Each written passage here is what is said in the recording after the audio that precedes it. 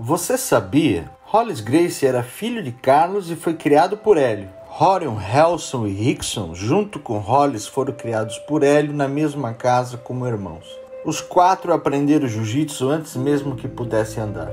Com seu espírito livre, um dom natural para a luta e um lugar especial na família, Hollis estava pronto para revolucionar o jiu-jitsu.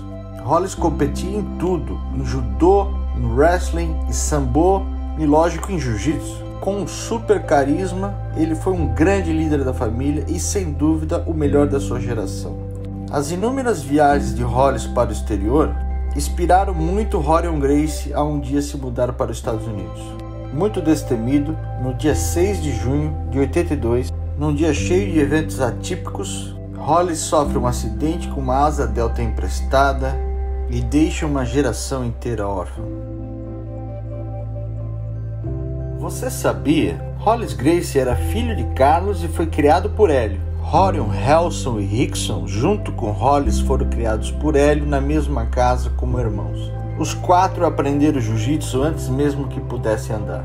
Com seu espírito livre, um dom natural para a luta e um lugar especial na família, Hollis estava pronto para revolucionar o jiu-jitsu. Hollis competia em tudo, em judô, em wrestling, em sambo e lógico em jiu-jitsu. Com um super carisma, ele foi um grande líder da família e sem dúvida o melhor da sua geração. As inúmeras viagens de Hollis para o exterior inspiraram muito Horion Grace a um dia se mudar para os Estados Unidos. Muito destemido, no dia 6 de junho de 82, num dia cheio de eventos atípicos, Hollis sofre um acidente com uma asa delta emprestada e deixa uma geração inteira órfã.